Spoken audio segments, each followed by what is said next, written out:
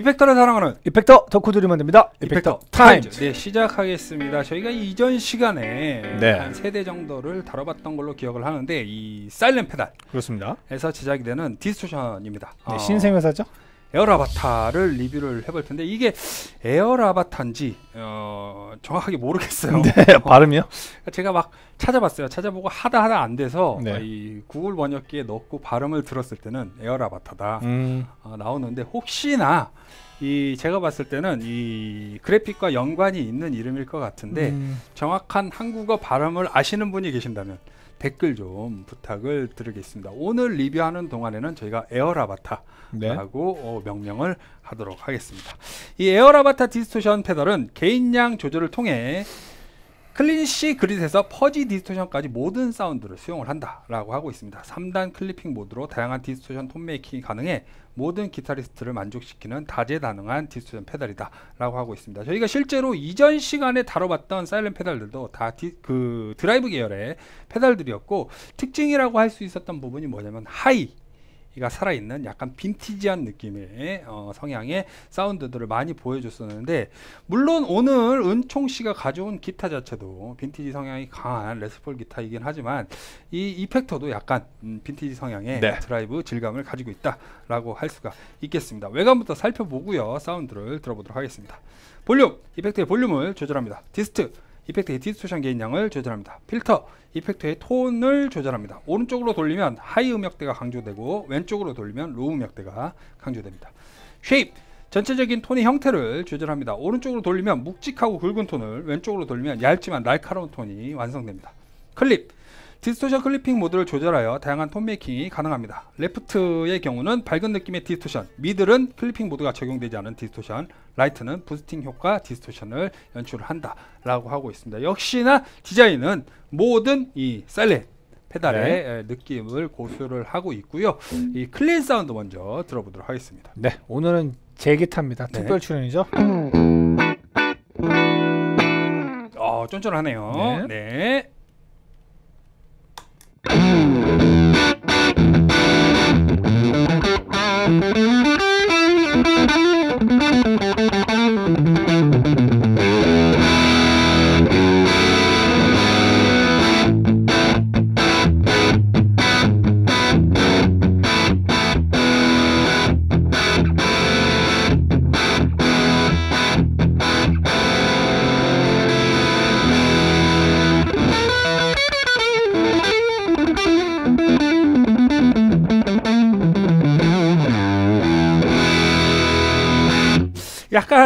반칙인 느낌이 있긴 있어요. 어, 네. 그러니까 기타 때문에 어, 그렇게 더 느껴지는 부분들은 있지만 실제로 이 high fret을 연주를 했을 때 이 저희가 익히 알고 있던 그 빈티지한 성향의 디스토션 사운드가 잘 연출이 되고 있습니다. 이 끈적끈적하고요. 쫀쫀하고요. 네. 어, 약간 fuzzy한 느낌의 드라이브 사운드가 인상적이네요. 지금 보니까 toggle이 가운데로 가 있었는데 어, 1번으로 바꿔 사운드를 들어볼게요. 볼륨이 약간 떨어지네요. 네. 빈티지 전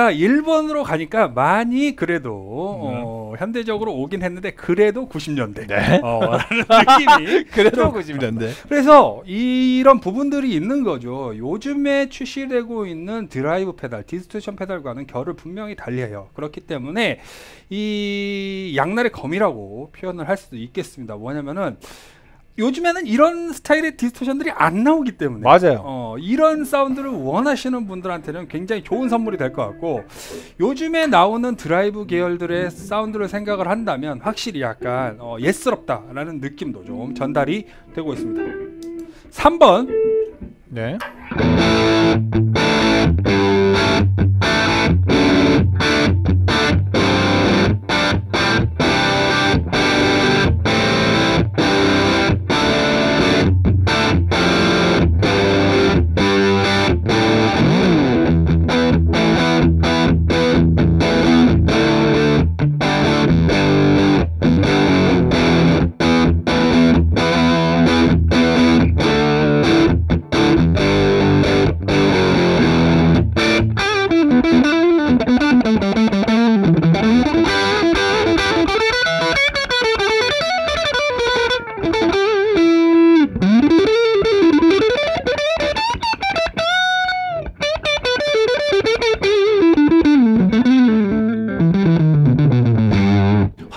확실히 빈티지하긴 하네요. 근데 이게 어, 이 기타 때문도 어, 음. 크다라고 생각을 가져옵니다. 하지만 진짜로 자기가 이 빈티지 성향의 기타를 가지고 있는 유저들이라면 어, 적어도 최소 리슈 음. 모델 음. 정도를 가지고 있는 연주자들이라면 굉장히 만족스러운 네. 빈티지 사운드를 연출을 할수 있을 것 같다라는 생각을 가져옵니다. 이 특유의 이 페달의 정체성을 제가 말씀을 드리자면 middle이 약간 scoop된 듯한 느낌도 들고요. 어, V자 어, 느낌이 드는데 이 high gain 페달들 저희가 이렇게 EQ를 꺾어놨을 때 느낌은 아니고 음. 약간 뭉툭한 V자의 네. 느낌을 가진 페달이다라고 할 수가 있겠습니다. 저희가 가장 기본적인 2번 세팅으로 하고요. 어, 볼륨을 조금만 줄이고 디... 끝까지 올려볼게요.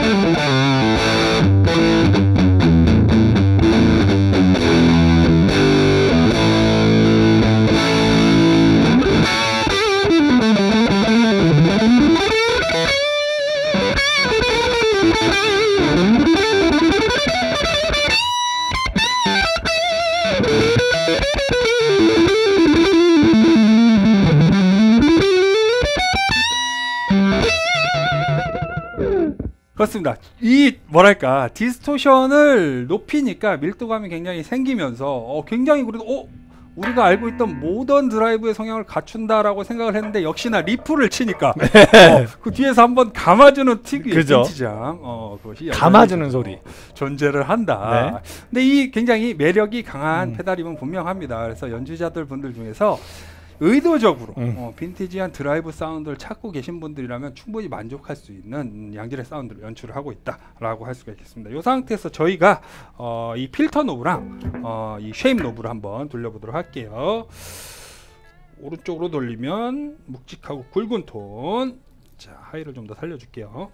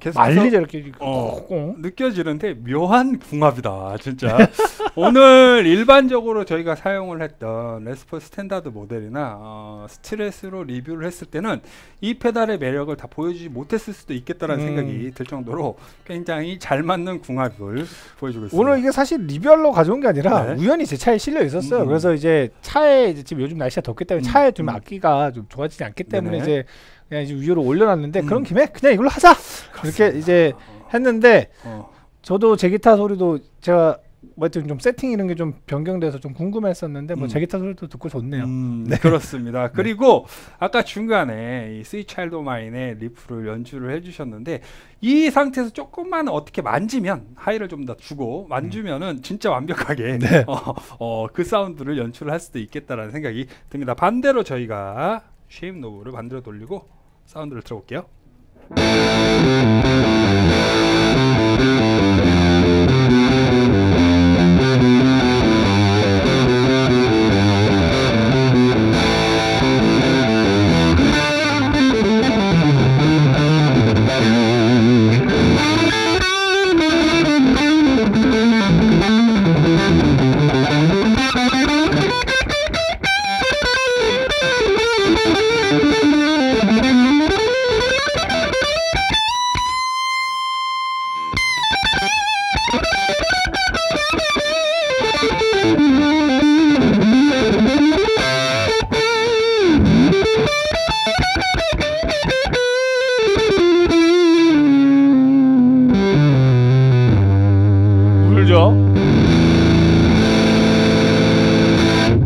그렇습니다. 저는 이제까지 다뤄봤던 사이렌 페달 중에서는 가장 자신의 색깔을 잘 드러내는 음. 페달이다라고 평가를 내리고 싶고요. 약간 어, 은총 씨의 기타도 그렇지만 이 기타와 이펙터가 저랑 은총 씨를 머리채 잡고 어, 7, 80년대 로 끌고 가고 있다라는 느낌을 받아봅니다.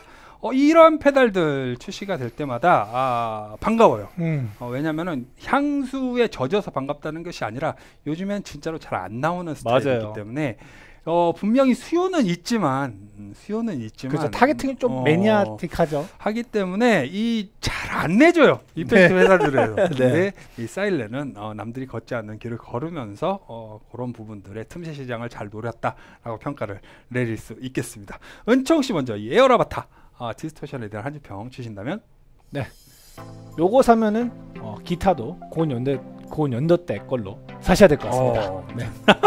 뭐 궁합 좋은 것 같네요. 그러니까 뭐 그 그런 확실히 저는 좀 궁금해졌어요. 음. 이 70년대 스트렛을 가지고 계신 분이 이 친구랑 물렸을 때 음, 어떤 잘 어울릴 것 같아요. 소리가 날까? 그죠? 굉장히. 그 하드락 전성 시대 음, 때 음, 나왔던 그 70년대 그 라제드 음, 음. 스트라토캐스터에 물렸을 때 어떤 소리가 날까 굉장히 궁금하고 어 재밌을 것 같아요. 음, 네네. 그 특유의 헐떡거리는 그죠 그죠 어, 헐떡거리는 소리. 잘 연출이 될 것 같다라는 네. 생각도 듭니다. 저는 한 줄평 이렇게 드리도록 하겠습니다. 락 기타리스트들을 위한 디스토션 페달. 이 실제로 어, 요즘에 나오는 페달들은 음, 어, 범용적이다라고 표현을 해야 될까요? 현대적인 장르에 굉장히 잘 어울리는 음, 그리고 마샬이라든지 다른 앰프들을 복각을 하더라도 굉장히 현대적으로 재해석된 페달들이 많이 연출이 되고 있다면 나오고 있다면 이 친구 같은 경우는 본연의 어, 그 락 그 golden age로 음. 연주자들을 어, 데리고 가고 있다라고 평가를 내리고 싶습니다. 점수 한번 줘보도록 할게요. 네.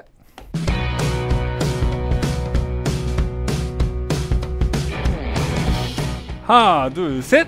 8.0, 7.5 네. 높은 점수 받아갑니다. 아, 이- 괜찮은 페달이라고 생각해요, 맞습니다. 진짜. 음. 아, 개성이 강하고 이, 이런 사운드를 위시하는 연주자라면 맞아요. 충분히 만족할 만한 음. 음, 페달이다라고 생각을 가져봅니다. 이 다양성은 존재해야 된다라고 저는 생각을 하고요. 물론 이 high-end급 페달들 중에서도 이 자신의 브랜드만의 색상을 고스란히 담은 페달들이 계속해서 출시가 되고 있지만 이렇게 어, 정확하게 타겟을 정해서 맞아요. 어, 올해는 약간 이렇게 빈티지하게 갈 거야라는 페달들이 요즘에는 잘 출시가 되지 않았었기 때문에 더 반가운 시간이 아니었나라고 생각을 가져봅니다. 저희는 다음 시간에도 어, 이 Siren 페달의 헤비메탈 디스토션 아. 리뷰를 해볼 예정이고요. 아, 그래요? 어, 좀 더 저희를 네. 어, 이렇게 헤비 메탈. 그렇죠. 지글지글 끓는 그 시대로 데려갈지 많은 기대가 됩니다. 저희는 다음 시간에도 다른 이펙터를 갖고 것을 약속드리면서 이 시간 마무리 짓도록 하겠습니다. 네. 이펙터를 사랑하는 이펙터 덕후들이 만듭니다. 이펙터 타임즈 네, 다음 시간에 뵙겠습니다. 감사합니다. 유튜브 구독과 좋아요는 우리에게 큰 힘이 됩니다.